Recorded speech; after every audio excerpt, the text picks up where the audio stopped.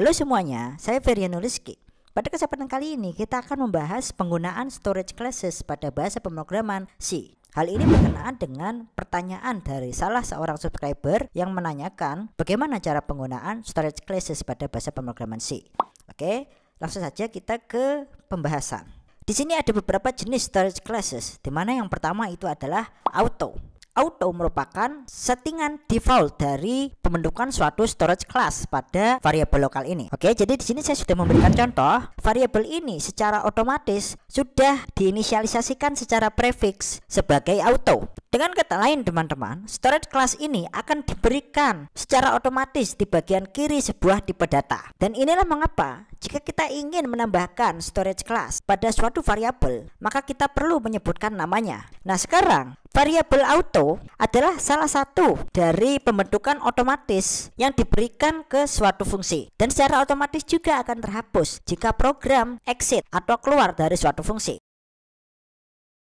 Nah, pada kasus ini kita akan memanggil atau memproses suatu fungsi dengan dua kali pemanggilan. Artinya, pada suatu memori, hal pertama yang akan ditempuh yaitu jika kita melakukan pemanggilan suatu fungsi, maka variabel vlocale ini akan tercreate pada memori dengan value-nya sama dengan satu. Nah kemudian jika fungsi ini sudah selesai diproses, maka variabel tersebut terhapus. Nah kemudian di step selanjutnya, ketika program akan masuk ke fungsi yang kedua, sekali lagi inisialisasi variabel tersebut akan terbuat, di mana di sini akan membentuk suatu copy atau salinan dari variabel vlocale ini, di mana di sini akan bervalue satu juga. Jadi intinya di sini setiap saat program akan melakukan proses ke dalam suatu fungsi, maka sebuah variabel vlocale akan terbentuk secara otomatis dan kemudian akan otomatis juga terhapus di akhir proses. Dan sekarang mari kita beralih ke jenis storage class yang berikutnya yaitu adalah static.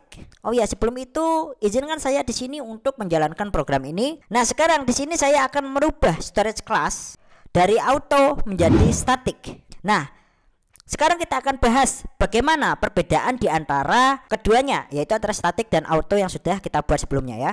Nah, pada kasus kali ini, jika program memproses suatu fungsi, ya, fungsi fun ini, hanya satu variabel yang akan tercreate. Artinya di sini, seberapa lama variabel tersebut teralokasi pada memori dari tingkat lokal ke tingkat statik.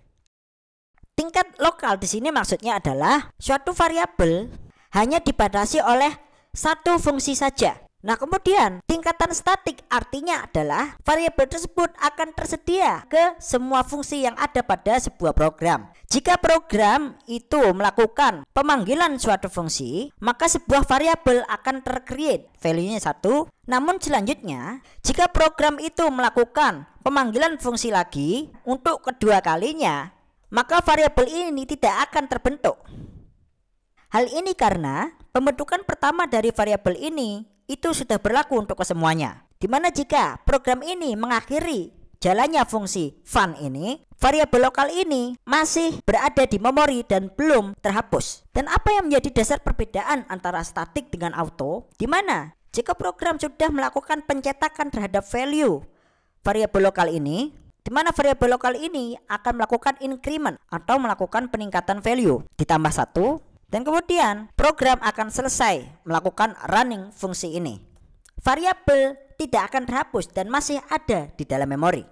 Nah kemudian untuk kedua kalinya fungsi tersebut dijalankan oleh program, pembentukan dari variabel ini akan dilewati karena variabel tersebut sudah tersedia di memori di mana value-nya itu adalah sama dengan dua. Di akhir dari jalannya fungsi ini, variabel akan diincrement menjadi tiga. Jadi intinya pada storage class bertipe static adalah value dari sebuah variabel akan terus dipertahankan seiring pemanggilan fungsi. Dan inilah cara kerja dari static storage class. Oke, mari kita jalankan. Dan inilah hasilnya 1 2. Jika kita tidak memberikan label statik pada pembentukan variabel ini, program akan melakukan output satu-satu. Hal ini karena pembentukan variabel tersebut akan bertipe auto. Nah, kemudian kita akan beralih ke jenis storage class yang ketiga yaitu adalah register. Jadi intinya di sini saya akan memerintahkan program C ini untuk melakukan alokasi memori untuk variabel ini untuk nantinya disimpan di register microprosesor jika memungkinkan. Jadi khususnya di sini kita akan mendapatkan sebuah alokasi di memori. Jadi di sini misalkan adalah RAM kita. Jadi di tempat inilah variabel tersebut akan dialokasikan. Nah, untuk membuat pemrosesan berjalan lebih cepat, kita bisa menempatkan variabel lokal ini ke sebuah register yang ada di microprosesor. Di mana register itu adalah sebuah tempat penyimpanan mikro microprosesor. Misalkan ini microprosesor kita, maka di dalam microprosesor ini ada sebuah penyimpanan mikro yang disebut sebagai register. Di sini kita memungkinkan untuk menempatkan variabel ini ke dalam register. Jadi program kita nanti akan bisa mengaksesnya secara lebih cepat. Hal ini terutama jika kita melakukan akses suatu variabel yang jumlahnya ribuan. Hal ini akan lebih cepat dibandingkan kita mengambil sebuah value dari memori. Hal ini baik dilakukan khususnya jika penggunaan dari variabel tersebut sering kita gunakan pada program kita. Maka di sini baiknya kita melakukan inisialisasi storage class bertipe register. Namun terdapat kekurangan dari penggunaan storage class bertipe register ini.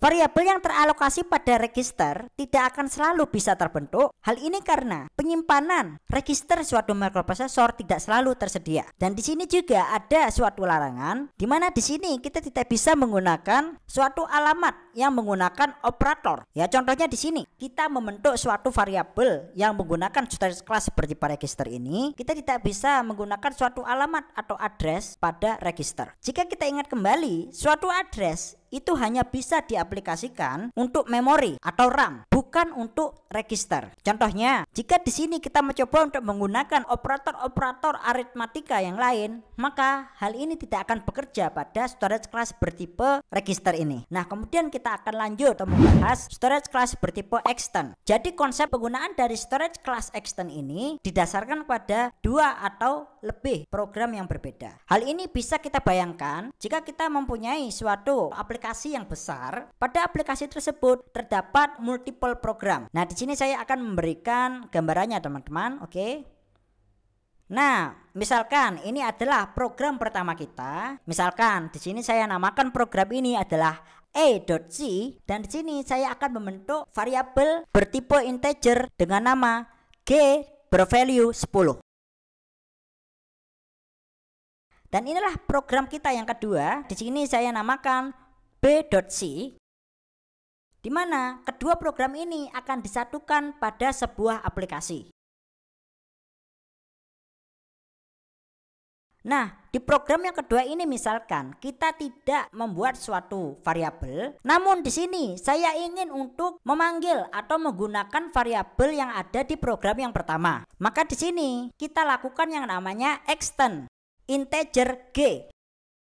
Yang mana artinya variabel ini adalah variabel eksternal di luar dari program B.C ini. Nah untuk selanjutnya kita akan menaruh dua program ini untuk dijadikan satu aplikasi maka kita bisa mendapatkan variabel di mana pada kasus ini A.C. Jadi intinya extend di sini adalah variabel G ini tidak dibuat pada program B.C ini tetapi dibuat di program eksternal yaitu adalah A.C. Dan kemudian kedua program tersebut letakkan atau dikompil secara bersama-sama menjadi satu aplikasi. Jadi hal ini konsepnya sama seperti pemrograman berbasis berbasis objek, hanya saja ditujukan untuk program berbasis prosedural. Jadi demikianlah teman-teman pembahasan dari storage class di mana tipenya itu ada empat yaitu auto, static, register, dan eksternal. Jika ada yang kurang jelas dan ingin ditanyakan kembali, silahkan sampaikan di kolom komentar. Kita akan diskusi bersama-sama di sana ya teman-teman. Sampai jumpa di video yang berikutnya.